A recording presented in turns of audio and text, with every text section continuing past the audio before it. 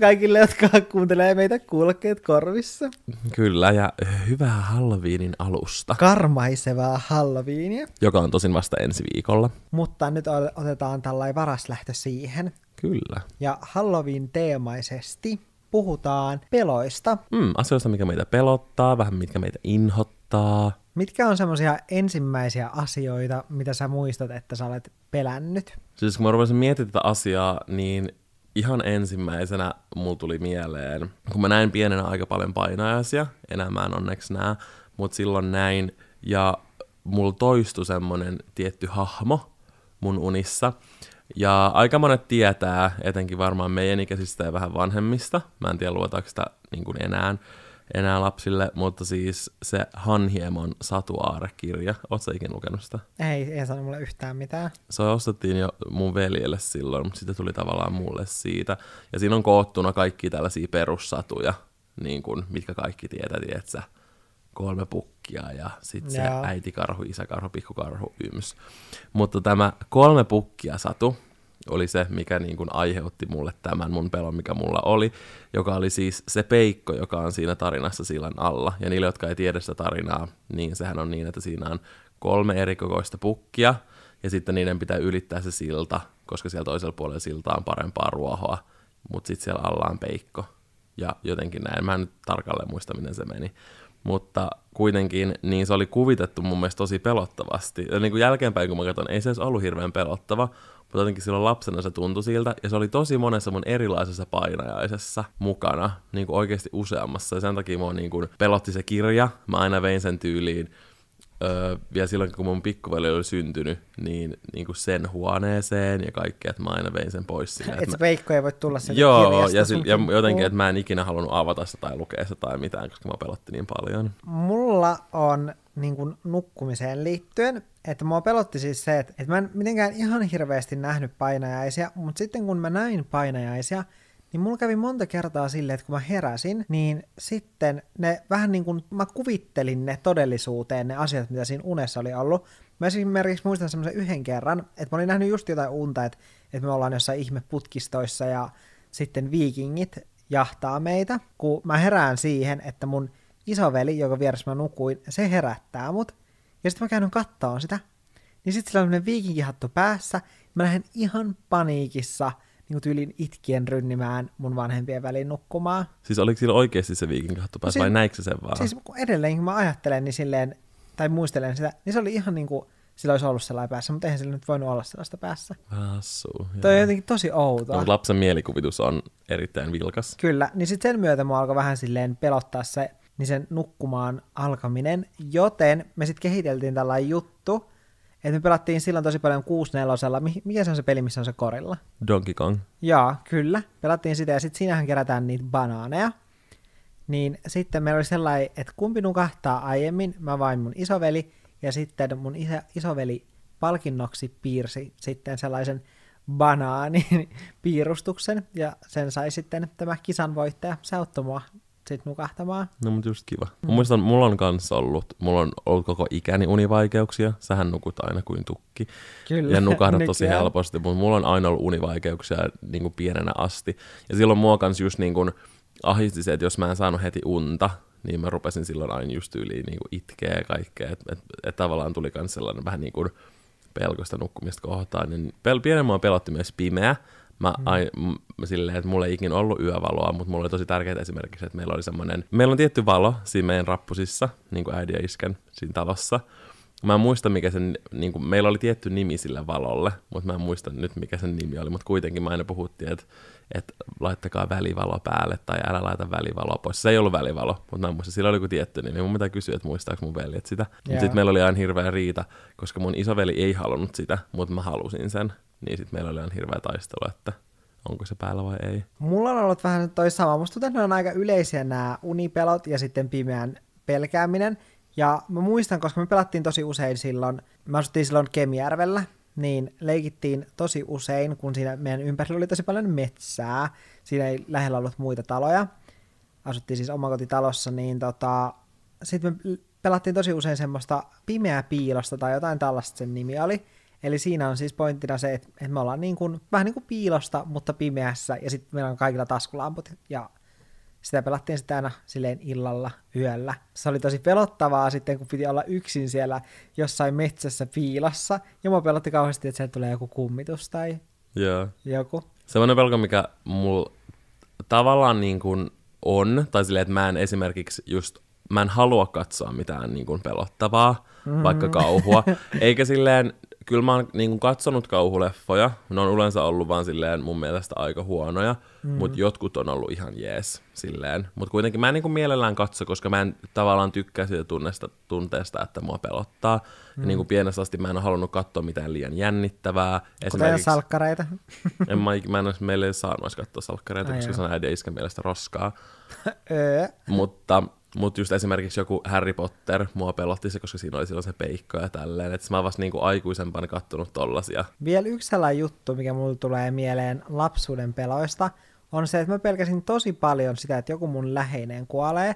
Ja yleensä, yleensä se liittyy mun äitiin, että jos se lähti niin kuin ulos vaikka perjantaina, ja sitten me niin kuin lapset jäätiin kotiin, niin mun oli pakko soittaa – saada soittaa illalla monta kertaa mun äidille. äidille. Sitä on varmaan ärsyttänyt niin, niin paljon, kun mä olen monta kertaa soittaa. Ja, koska mulla tuli sellainen huoli, että sillä on tapahtunut jotain, kun se ei vieläkään tullut kotiin, vaikka kello ei ollut edes paljon, mutta siis mulla tuli silti sellainen, niin että onkohan sille nyt käynyt jotain. Tai se, se mua pelotti, ja sitten meillä oli kultainen noutaja, Rippe nimeltään, niin mua kauheasti. Mä muistan, että silloin kun se täytti 10 V, niin sen jälkeen mä aloin niin pelkäämään sitä, että no niin, että kohta se kuolee, kohta se kuolee. Ja sitten mä muistan, kun mä lähdin kouluun, niin mä monesti saatoin kuiskata sille korvaa silleen, että mä rakastan sua, oot tosi tärkeä, koska mä pelotti, että sit kun mä tuun kotiin, niin se on kuollut. Muistan, mun isovelillä oli silloin tai se itse pelkäs niin kuin kuolemaa silloin lapsena.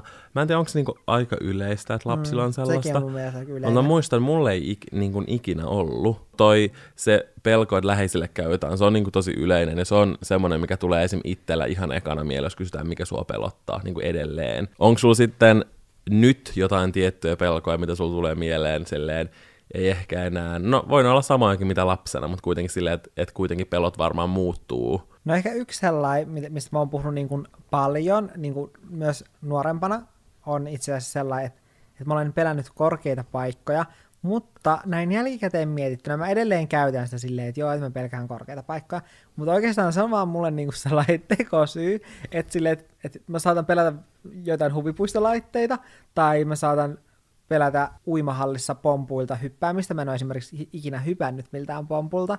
Mä olen onnistunut välttämään sen. Se on kyllä oikeasti tosi pelottavaa. Niin sen takia, koska pelkää tällaisia asioita, niin sitten se on helppo sellainen tekosyy silleen, että joo, mä pelkään korkeat paikkoja, niin mä sen takia tykkää. Mutta ei sua esim. pelottanut, kun me oltiin siellä nykissä siellä korkeissa torneissa. Joo, niissä. ei todellakaan. Sä olit vaan ihan jaa.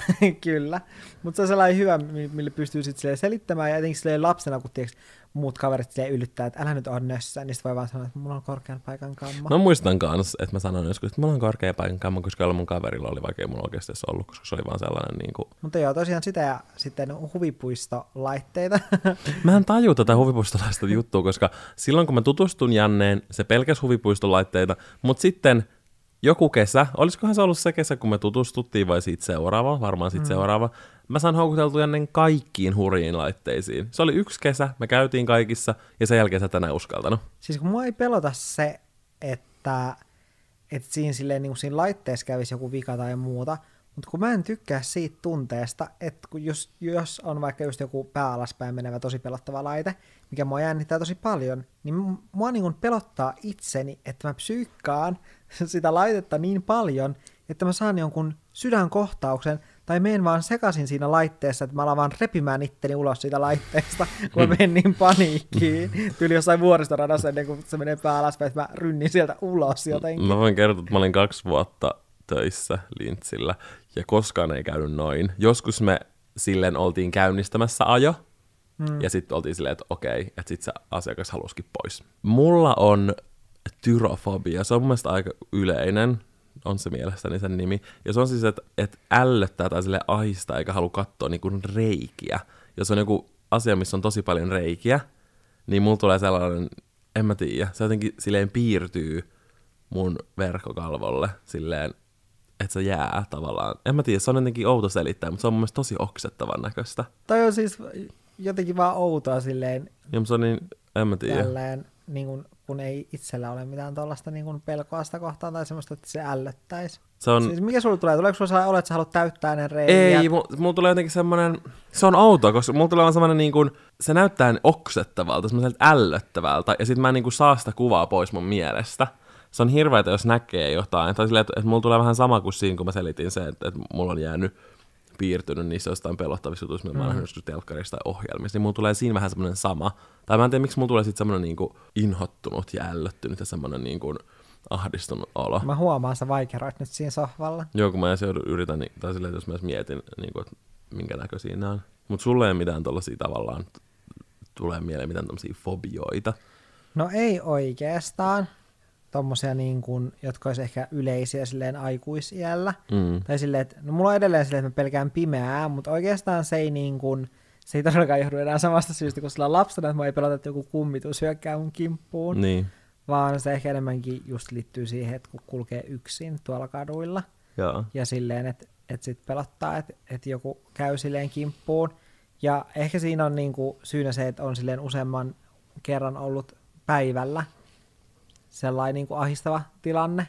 Että on korvannut seuraa sua. Ja siis esimerkiksi just tämä yksi, yksi kerta, kun olin menossa ottaa tatuointia, ja sitten olin niinku metrossa, ja sitten siinä pää- vastapäätä istui mies, ja oli ihan niinku päivä, ja sitten se, kun mulla oli sortsit jalassa, niin sitten se alkoi hinkkaan sillä niinku heiluttaa sen reppua silleen, että se niinku ikään kuin hinkkaa mun jalkaan, ja sitten mä vaan siirrän mun jalkaa, ja sitten kun mä jään sieltä niin kuin metrosta pois, niin mä mietin että, että läht, mä vielä mietin kohtaa, että lähteekö hän seuraamaan. Ja sitten mä lähdin käveleen, ja sitten kun siinä Kaisaniemessä se metroasema on silleen, että siinä, kun sä menet niitä liukuportaita, niin sä näet silleen niin kuin sinne vasta, vastakkaisiin liukuportaisiin ikään Joo. kuin.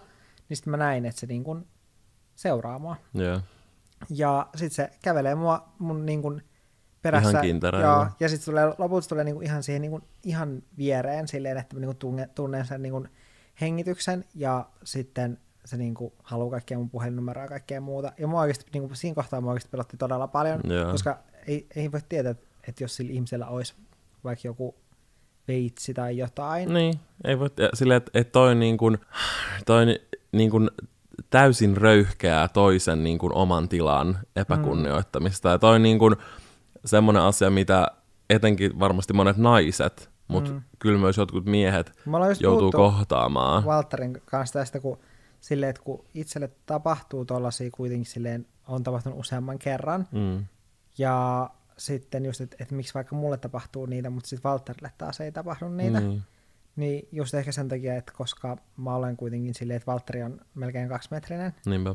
mies ja mä olen tällainen lyhyt. Ja se, että niinku ylipäänsä silleen, että esimerkiksi miten paljon naiset joutuu miettimään kaikkia tällaisia mm. asioita, että et niille ei käy mitään. Mun mielestä Aivan. just semmoinen hyvä juttu kiersi netissä ihan hetki sitten, missä oli niin kuin se, että kysyttiin, että et, et mitä miettiikö miehet jotain, kun ne lähtee kotoota. Tai silleen, tiedätkö, että pitääkö mm. ne pelkää, pelkää jotain. Ne oli silleen, että ei. Mm. Ja sitten siinä oli ihan järjetön lista, mitä niin kuin esimerkiksi na, niin kuin naisilla oli. Mm. Ja pätee myös kyllä varmasti niin kuin, myös miehiinkin silleen joissain tilanteissa. Esimerkiksi vaikka sulla. Ja sitten kun tekee vielä tällaista julkista työtä, sekin ehkä luo sitä sellaista niin kuin lisäpelkoa siitä, että kun ei voi esimerkiksi tietää silleen, että, että jos se sama mies, joka lähti mua silloin seuraamaan sieltä metrosta, että jos se vaikka sattuisi tietämään silleen, että, että mä teen blogia tai tubea tai jotenkin niin kuin löytäisi minut Mm. mm. ja sitten sitä kautta sitten saisi selville, että missä mä asun. Esimerkiksi. Koska kyllähän seuraajatkin on löytäneet tonne alaovelle Niin. soittaa antaa ovikelloa, niin sinne voi löytää tiensä kuka tahansa. Se, että kun mä lähden illalla käyttämään lakia lenkillä, niin Niin sen takia mä melkein aina teen iltalenkin. kyllä, Valtteri käyttää iltalenkiä ja mä käytän sitä Niin, ja siis ja todellakin ja mä tavallaan ymmärrän täysin hyvin sen syyn. Tai. Mä mainitsinkin tästä mun mielestä ö, meidän Squad Sunday-videolla, minkä mä tein silloin Jannen, Ainen ja Sinin kanssa, mutta mua pelottaa niin kuin vesi, tai silleen ei esimerkiksi mikään uima-alta tai uima-altaiden vesi, eikä semmoinen vesi esimerkiksi vaikka järvissä, missä mä näen, että mitä siellä on, tai just kun mä olin vaikka Barcelonassa, niin mä tavallaan, siellä on niin kirkas se vesi, että mä näin, että mitä siellä tavallaan pohjassa on. Mm. Et sillä, että jos mä näen, mitä siellä vedessä on, mua ei pelota, mutta esimerkiksi mua ahistaa ajatus jostain ollessaan valtameren keskellä, tai sitten vaikka jotkut semmoiset järvet, missä on tosi paljon sitä sellaista, mitä se on, liete tai semmoinen joku hummus vai mitä siellä, Hummus. siellä vedessä Valtteri, se ei ole hummusta. Mun,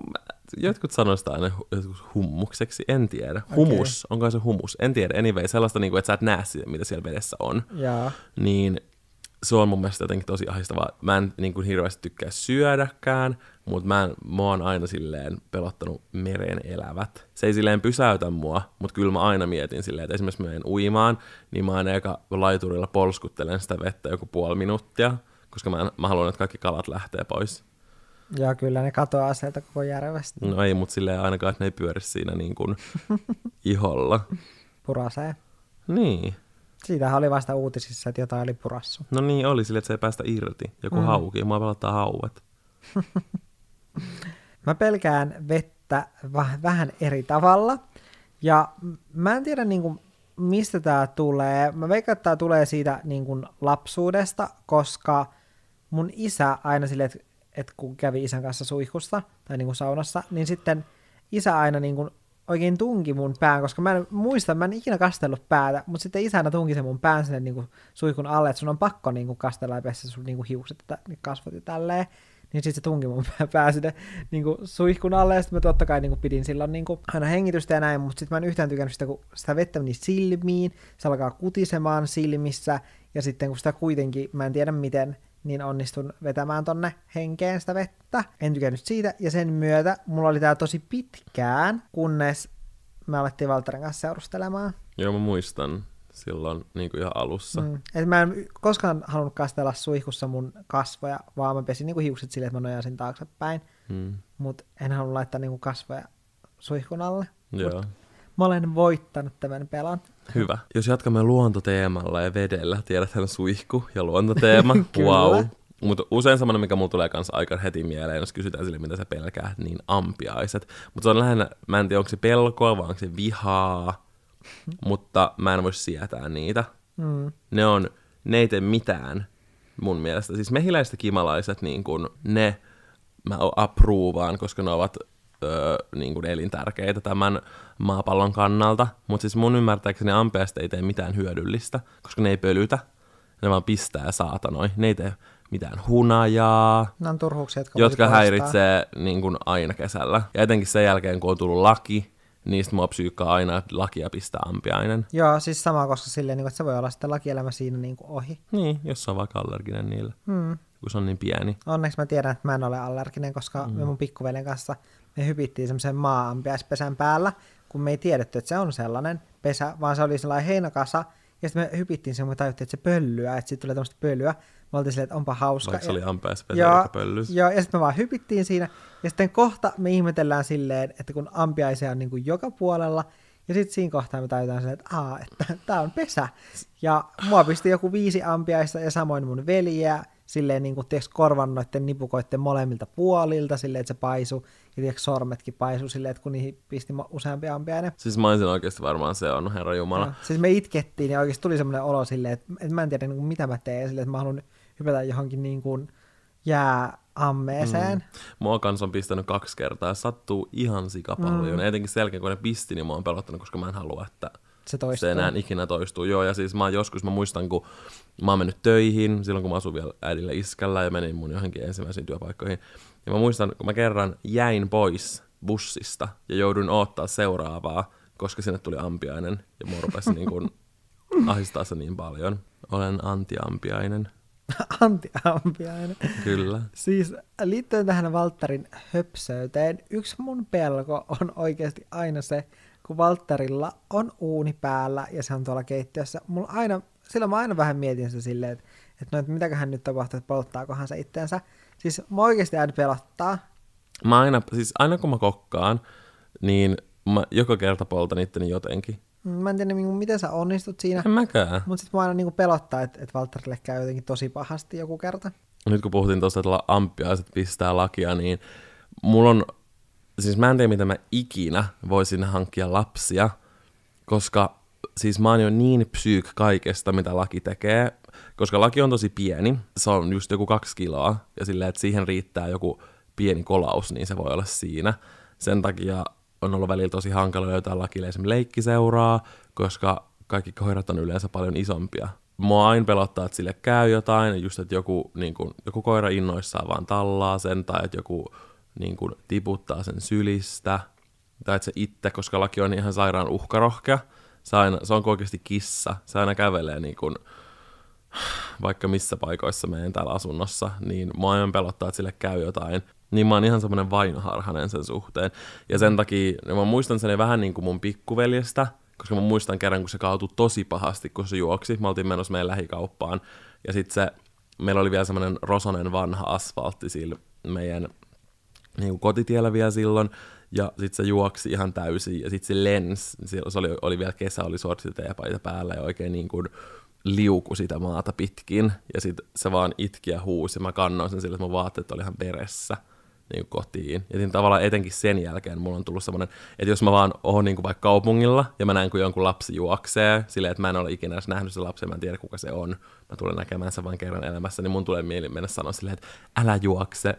Ja oikein semmoista tuntuu, että jos mulla olisi joku, joskus joku oma lapsi, niin mä varmaan niin kuin, en tiedä, miten mä selviäisin siitä koska mm. mä olisin varmaan koko ajan aivan psyykki. Ei ole hyvä olla sellainen psyyk psyyk, koska esimerkiksi lakille käy jotain, niin mä aina silleen varmaan, mä saan itselläkin enemmän paniikkiin, kun mä otan sen syliin, mä silleen, herra Jumala, saat... on kaikki hyvin, mä oon ihan valmis ottaa eläinlääkäriin, ja, niin kun, ja esimerkiksi jos edes lenkillä tapahtuu jotain, mä aina soitan Jannelle erikseen, että ennen kuin vaikka mä tuun viiden minuutin päästä kotiin, että nyt kävi tällainen. Joo, ja siis viimeisin, kun Valtteri soitti mulle, niin Valtteri soitti mulle ihan paniikissa, että laki käyttäytyy nyt kyllä jotenkin todella oudosti.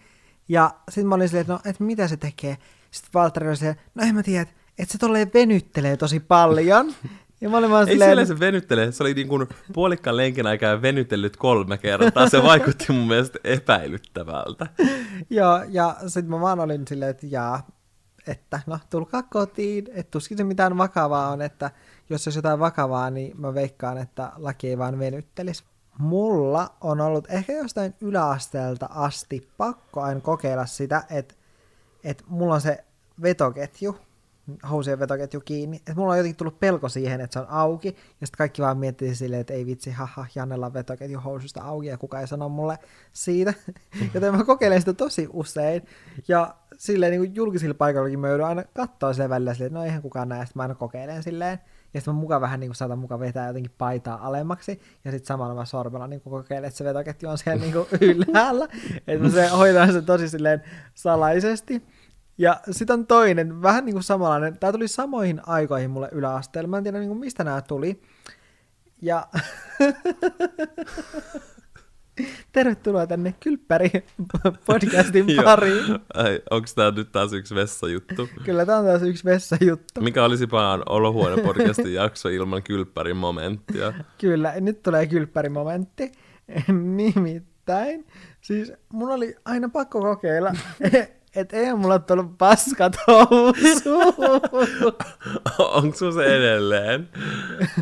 siis ei oo, mutta siis mulla tuli jotenkin sellainen pakko, että mulla oli aina pakko silleen, että tuli, että kun nousit vaikka luokasta, sit pulpetista, sitten mä vähän niinku pyykäsin mun niinku takaa silleen, että mä tunsin silleen.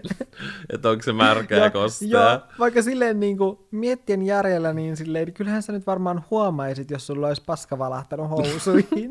Me puhuttiin äsken Jannen kanssa, että et, et pitäisiköhän meidän niinku jotenkin keskustella tästä tavallaan pelkojen voittamisesta. Jep. Kun mietit tätä jaksoa. Ja pelothan voittaa pa- parhaiten kohtaamalla ne, eli ehkä, ehkä mun olisi pitänyt sitten ripuloida housuihin jossain julkisella, julkisella paikalla. paikalla. Joo, mä olen täysin samaa mieltä. Okei, okay, onneksi mä oon päässyt siitä eroon, niin mun ei tarvitse kokeilla tätä. Tämä on semmoinen pelko, mikä mulla on ollut vahvasti vaan niin kuin aikuisiällä, öö, mutta se on helpottanut tosi paljon. Ja se on niin kuin bakteerit ja kipeäksi tuleminen. Ja mulla on, silleen, on mulla edelleenkin, että mä, kok, mä aina mietin, että missä on mitenkin paljon bakteereja. Ja just esim. yksi päivä mä lähin koulusta, ja sitten mä avasin jonkun oven, joka vei niin kuin juna-asemalla, ja se oli tosi tahmanen. niin mä en pystynyt mitään ennen kuin mä pääsin kotiin, ja mun piti vielä käydä jossain kaupoilla tai jotain. Mä vaan koko ajan mietin sitä kättä silleen. Mä olin tyyli, että mä en, mä en koskenut tyyliin mun puhelimeen sillä kädellä, koska mä mietin, että se on niinku silleen ihan täynnä bakteereita, mutta se oli ennen silleen paljon parempi, pahempi. Mä en kannan koko ajan jotain kosteusliinoja Joo, mä muistan, ja kun tavattiin Valtterin kanssa, ja Valtterilla oli aina kosteuspyyhkeet mukana. Mutta se olisi tavallaan hyvä, koska jos etenkin flunssakauten aikana, jos sä peset sun kädet kymmenen kertaa päivässä, Kyllä.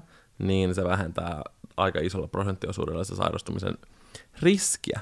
Toi tavallaan on silleen helpottunut, että mä, että mä nykyään mä niin ajattelen noita asioita, mä ajattelen silleen, että missä on mitenkin että missä on kuinkakin paljon bakteereja tai näin, mutta se ei silleen niin kuin, että mä aina tiedän sen tavallaan, että mä pääsen pesemään kädet, mä pääsen niin kuin suihkuun, mä pääsen niin kuin puhdistautumaan, hmm. niin että et mä niin kuin aina turvaudun siihen ja sen takia mulle ei tuu siitä sellaista niin kuin, tavallaan ahdistusta. Sitten yksi, jo- josta mä en tiedä, että pelkääkö mä tätä enää niin paljon, mutta jossain vaiheessa mulla oli ura, oli sellainen, mikä mua niin kuin pelotti, tai siis kaikki tämä some, että se kaikki vaan loppuu.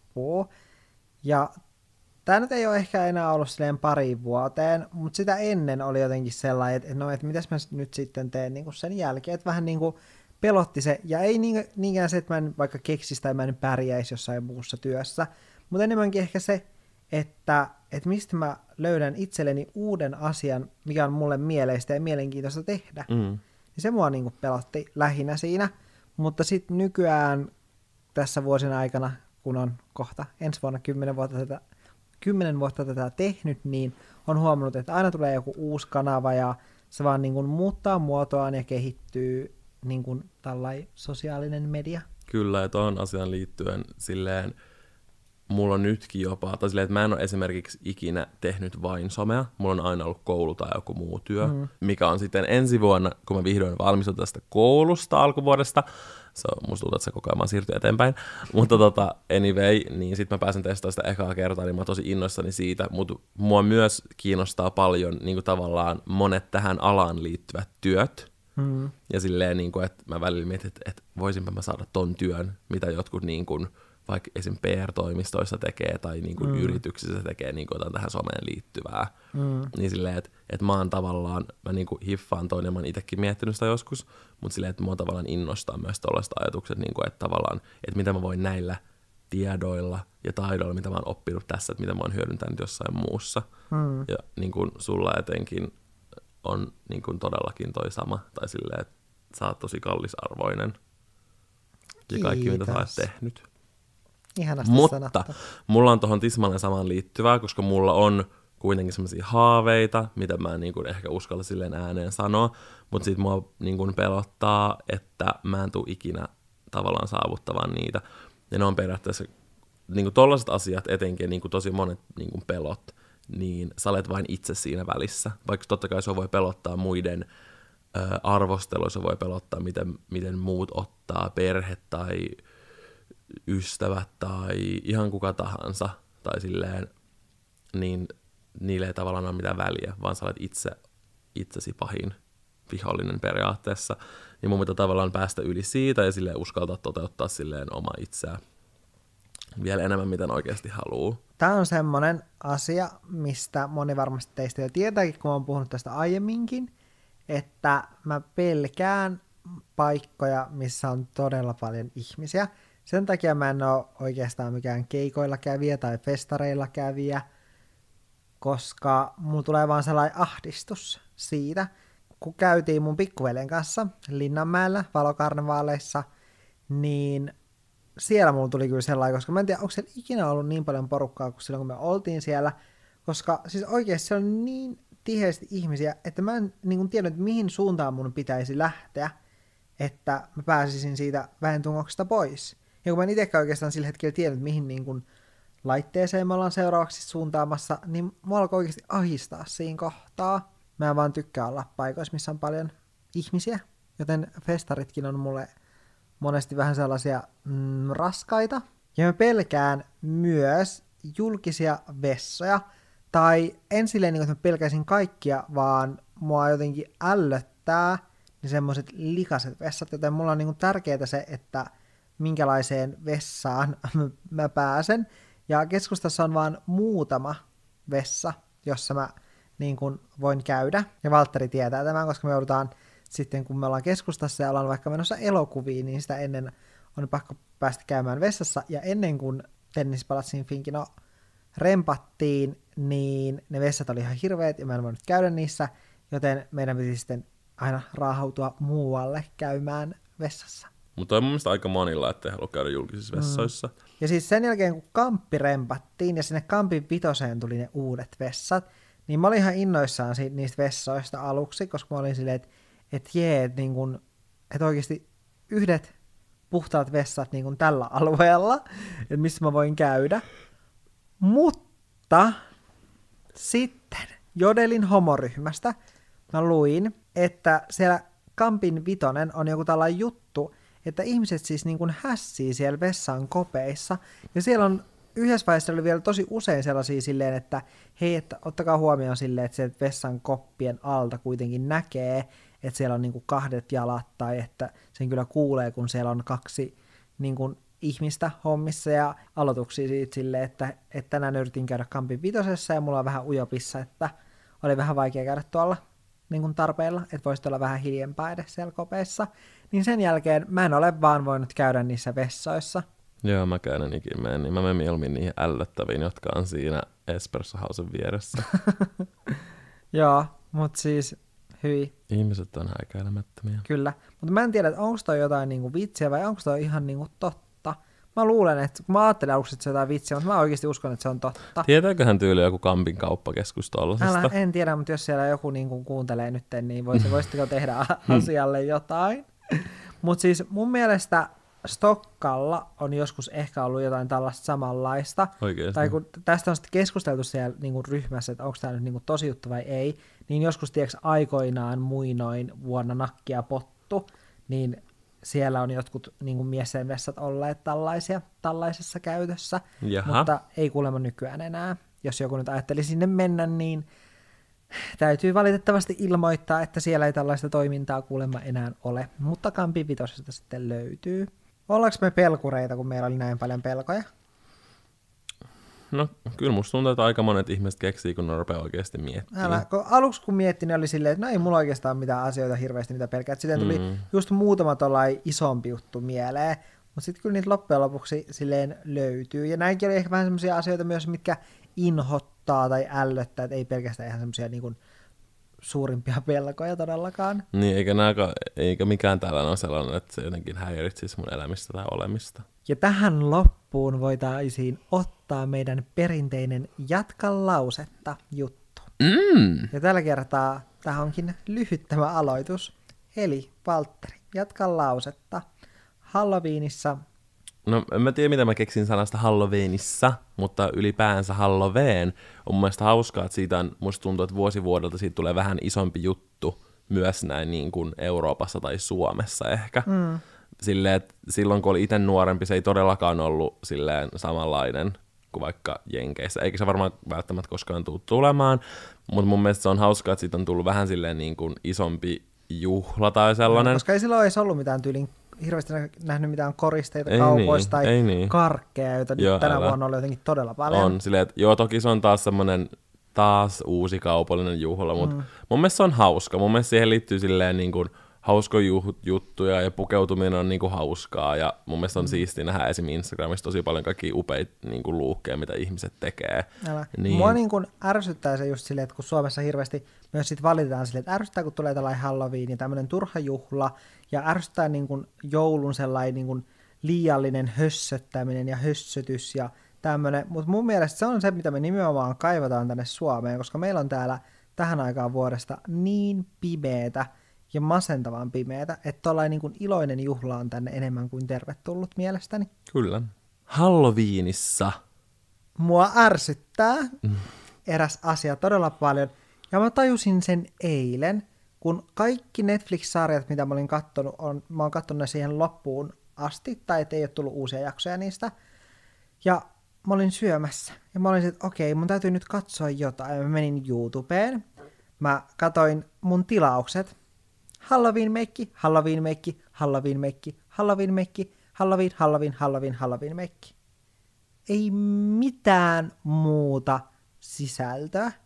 kuin Halloween-meikkejä. Ja mulla oli just sillä hetkellä sellainen hetki, että mä halusin katsoa jotain vähän sellaista kevyempää, jotain hauskaa. Sitten mä menin etusivulle ja sieltä suositeltiin mulle vaan Halloween-meikkejä. Joten Halloweenista mua ärsyttää. Se, että on Halloween. Että on liikaa halloween No, mutta se tulee juuri siihen, Vaikka mitä mä olisin- äsken sanoin. Vaikka mä olisin itsekin kerätä teke- tekemään sen, niin, niin mä silti ärsyttää, koska niitä oli niin paljon silleen, että ihmiset vois kuitenkin myös tehdä jotain muutakin sisältöä. Silleen, että ei, tai silleen, että joo, mun mielestä on kivoja ne meikkitutoriaalit ja näin. Mä tykkään katsoa niitä joskus, mutta mun mielestä silti voi tehdä jotain muutakin sisältöä. Se pointti on se, että etenkin vaikka Instagrammaajille, jotka tekee vielä jopa sellaisia niin kuin visuaalisempia luukkeja eikä mitään perus. Seksikäs kissa Mirri. No ei, vai se, se, se vähän niin kuin enemmän semmoisia enemmän creative luukkeja, niin ne saa silloin Halloweenin aikaan, jos ne tekee tosi paljon luukkeja ja oikein panostaa, niin he tekee hienoja, niin silloin saa kaikista eniten seuraajia.